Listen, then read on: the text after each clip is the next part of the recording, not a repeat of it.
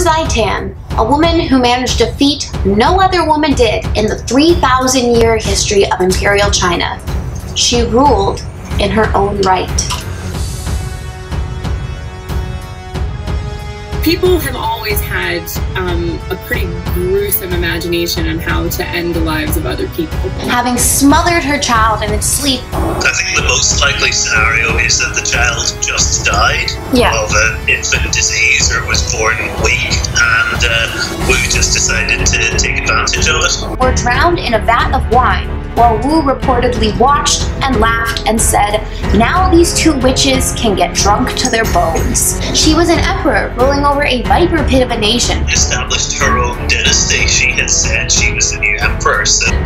Many of the female you know, historical figures that we learn about um, have been flattened to, to a degree that we, I don't think that we would do with men.